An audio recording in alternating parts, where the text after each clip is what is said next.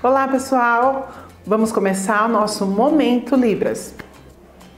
Vamos aprender alguns sinais para gente usar no dia a dia se encontrar um surdo.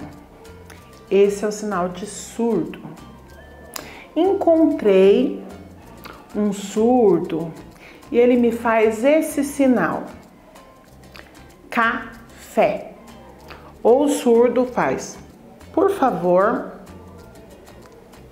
banheiro, ó, banheiro.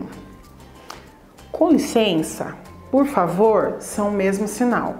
Obrigada, de nada. Desculpa.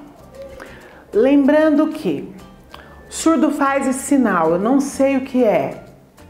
Na aula passada, nós treinamos um pouquinho do alfabeto manual. Então, café. O surdo soletre muito rápido, a gente faz o quê? Calma. De novo. E aí ele vai fazer café. Ou banheiro. O sinal de água. Por favor, água. Água sempre tem movimento. Surdo fez isso. Não sei.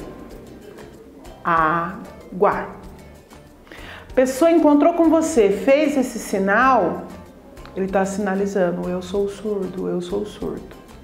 Ok? Vamos treinar? Até a próxima semana.